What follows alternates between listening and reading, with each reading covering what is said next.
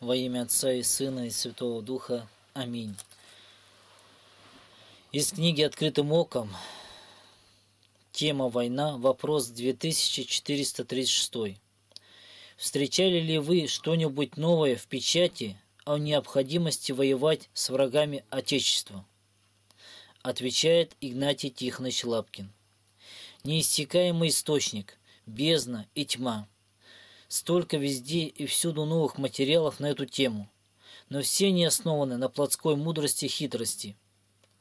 Ни слова нет евангельского, ни Духа Христова, хотя иногда, иногда даже приводят места Писания. Пока говорят они только от себя, то еще можно подумать, что просто неверующие люди, и так они мыслят и имеют на это право в свободе. Но как только увидишь чье-то благословение на таких материалах, да еще сдобрено местом Писания, так сразу и видны рога и копыта, не просто безбожники, а лютые волки, влекущие простодушных на бойню и на погибель душ. Вот опять принесли мне книжонку «Воскресни Русь» о патриотизме, достоинстве русского человека и православном понимании войны. Даниловский благовестник, Москва, 2001 год, 128 страниц, 20 тысяч экземпляров по благословению патриарха Алексия II. Цитировать из этой книжонки невозможно.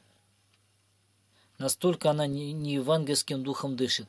Просто чуть вообразите, что эта книжица попала апостолу Павлу, когда было ему всего-то 45 лет. Не мог бы он иначе говорить ныне, как говорил и писал в таком духе.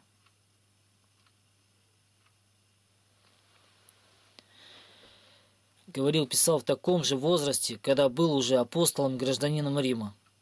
Почему же ни один апостол не ратовал за освобождение родной Иудеи от захватчик, захватчиков римских или польских, татарских или немецких?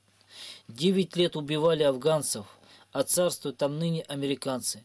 Кто же ответит за убитых и покалеченных? Что же молчат попы, не гремят кадилами там, где разбойничали советские наркоман-офицеры? Пусть попросятся туда, и там и спросят прощения у убитых и искалеченных афганцев, чеченцев. Как эти авторы вели бы себя, родись они в Германии или Америке, имея гражданство, но сегодняшние же сердца и головы. Ведь с такой же лихостью поддерживали и тамошние режимы, и свободы, в кавычках, наши животолюбцы презренные.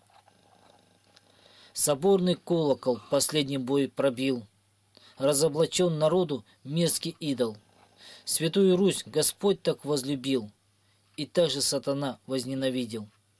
Нина Карташова Непонятно только, где и что за идол уже разоблачен, и в каком виде ненависть сатаны к Руси. Не в этой ли брошюрке? Согласно статье в кни книжице, главные враги – это люди, которые понимают Евангелие не так, как благословили их понимать – камелавки и куколь. Мы их главные враги, и есть, и нас. Они будут убивать, эти защитники наши. Луки 21 глава, 18 стих. Но и волос с головы вашей не пропадет. Притча 16, 7. Когда Господу угодно пути человека, он и врагов его примиряет с ним. В нашей книге «К истинному православию» в главе «А я говорю вам, любите врагов ваших» отвечено согласно Нового Завета на все военные вопросы.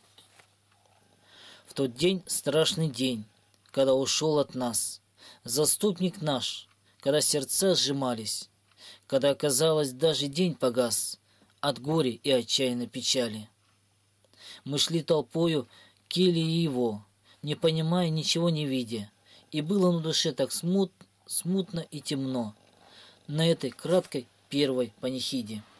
Когда пройдем назначенный нам срок, когда поймем, что есть иные дали, прекрасней наших жизненных дорог, где мы боролись, верили, мечтали.